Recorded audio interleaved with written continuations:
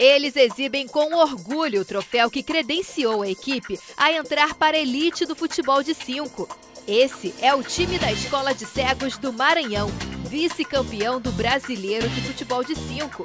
Com o segundo lugar, os maranhenses garantiram o inédito acesso à Série A da modalidade para a competição do ano que vem.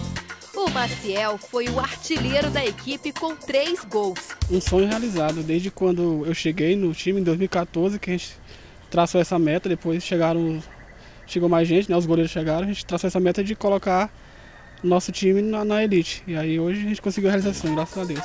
O Brasileiro de Futebol de 5 da Série B foi realizado no mês passado na cidade de São Paulo. Na decisão super disputada, a Escola de Cegos do Maranhão encarou de novo a equipe Maestro do Paraná.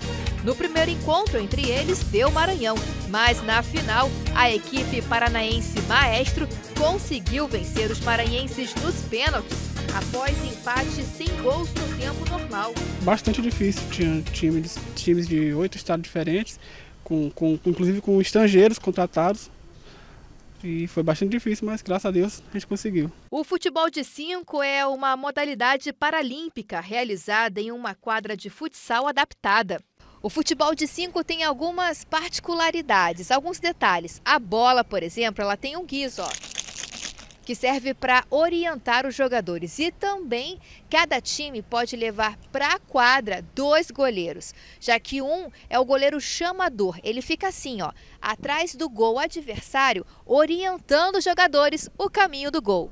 Marcel, sua esquerda é o lado livre, do teu lado direito tem três na barreira. Marcel,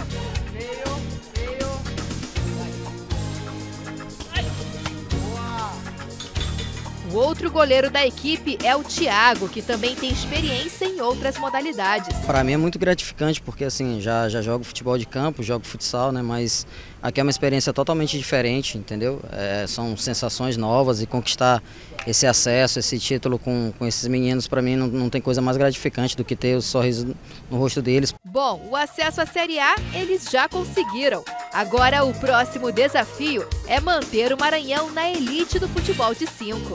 É, nós estamos perseguindo essa, essa Série A já há cinco anos. É só para você ver como não é tão fácil o futebol de cinco. Faz uns cinco anos que nós estamos lutando para subir para a Série A. Nós estamos na elite do futebol de cinco a partir do ano que vem, se Deus quiser. Vamos lá. Lutar! Lutar! Vencer! Vencer! Vencemos!